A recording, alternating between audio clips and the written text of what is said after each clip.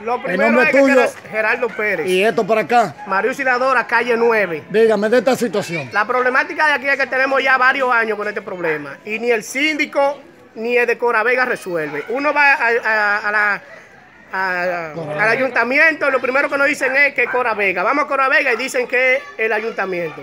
Entonces no tienen el camión para mandarlo si no le dan dinero. Ah, porque aquí no tenemos recursos para reunir 5 mil o 6 mil pesos de camión, no lo puede mandar. Eso es Cora Vega. Cora Vega.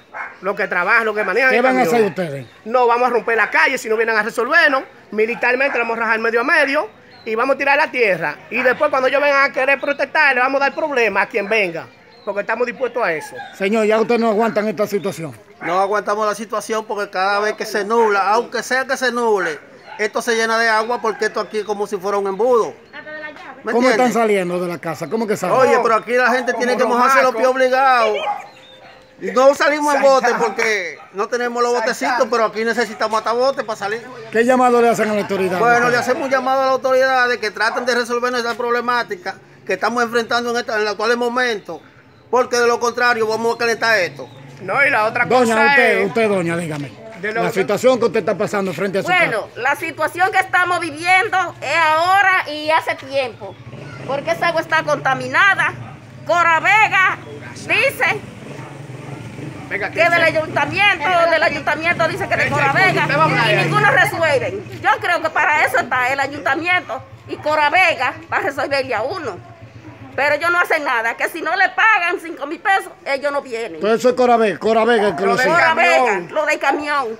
Entonces mira la situación, mira. nosotros. Yo tengo hongo en los pies del agua, mira la situación.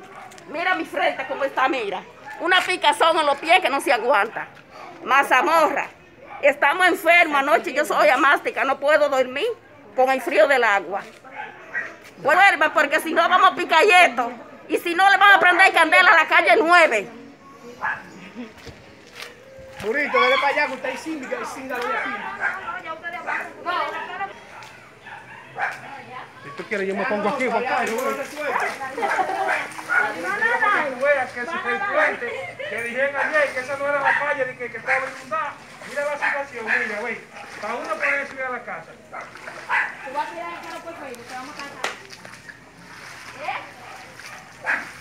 No, si no, vamos a romper la calle. Bueno, nosotros esperamos que vengan hoy. Y la vamos a Lo romper vamos a entera. hoy. hasta aquí. Hoy lo vamos a esperar. Lo malo que somos muchos. No, no importa. Problema sea. Vamos a romper la calle entera. Vamos a romperla ahí para que entonces ven, busquen solución.